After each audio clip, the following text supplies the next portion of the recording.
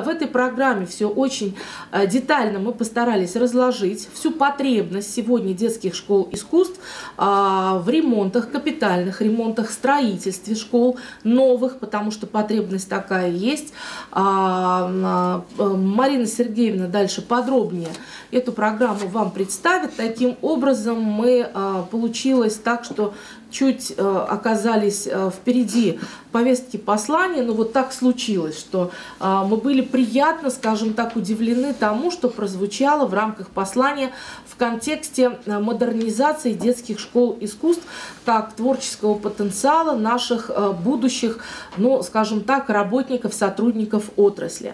Поэтому э, в этом ключе мы свои предложения рабочей группе, которая сегодня сформирована в правительстве Ульяновской области, мы их направили, что мы поэтапно, как видим, в решении этой задачи послания. Поскольку вот вчера была первая рабочая группа тематическая. Я полагаю, что наступит время нашей тематической рабочей группы, где мы уже более подробно, более конкретно а, расскажем о том, а, как мы будем реализовывать эту программу, пока она у нас имеет а, предварительное название «Пятилетка творческого образования», как мы будем до 2024 года двигаться к поставленным целям. А, цели у нас понятные.